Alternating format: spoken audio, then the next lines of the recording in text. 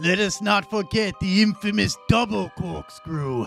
Tell me, Gerald, what circumstances dictate two bottles of wine be opened simultaneously? Uh, you know, there's a lot of pressure with Wine Wednesday, and there's bunches of brunches, and it's always wine o'clock.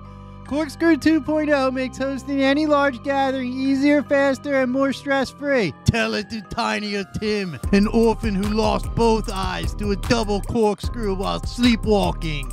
I did, under a judge's order.